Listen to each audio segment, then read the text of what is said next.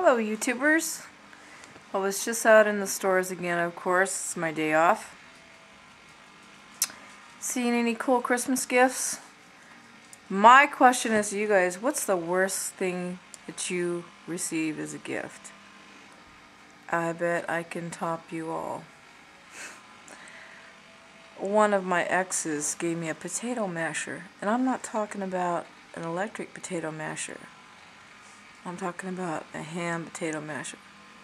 That's why these are next. I mean, I seen an Oprah show one time, and I very rarely watched that program, and they had the cheapest gift, and it was a pencil sharpener, but it was an electric one. I, I could have beat that one. Yeah, the potato masher. That Do I look like I would want a potato masher? No kidding. So anyway, yeah, there's there's some cool stuff this year. I I seen I got some stuff early. I haven't put up a tree. I think I have a my jack tree. I got a black tree. I haven't put up yet. I haven't had time. Been busy. But anyway, tell me what's the worst gift you ever received.